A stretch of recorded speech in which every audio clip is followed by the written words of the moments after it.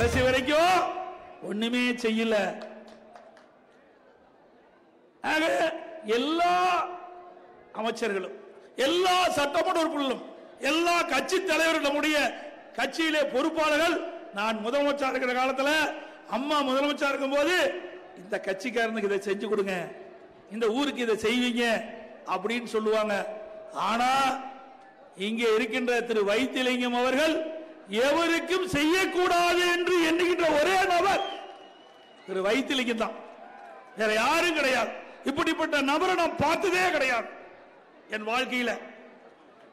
தன்னை உயர்த்தியவர்களை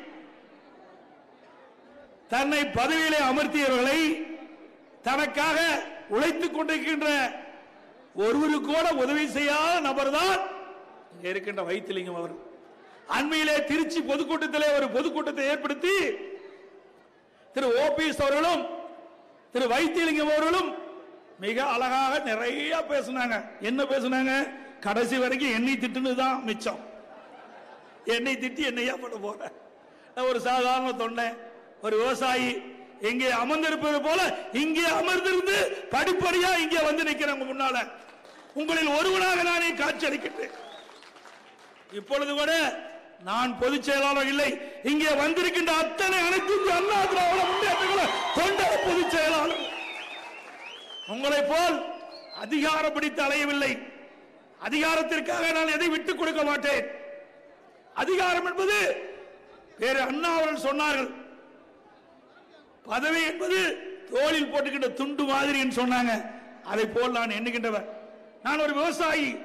விவசாய குடும்பத்தில் பிறந்து வளர்ந்தவன் இரவுகள் பாராமல் விவசாய பணியிலே மேற்கொண்டவன்.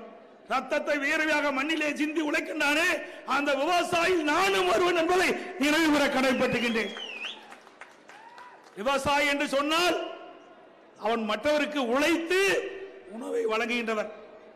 நாட்டுக்கு தன்னை அர்ப்பணிக்கக்கூடியவன். விவசாயி சாதாரண எண்ணி விடாதீர்கள்.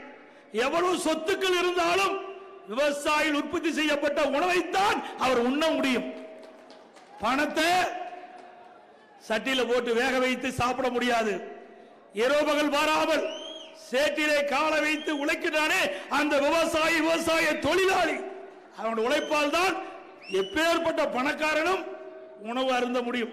அப்படி விவசாய குடும்பத்திலே பிறந்து வளர்ந்தவன் நான்.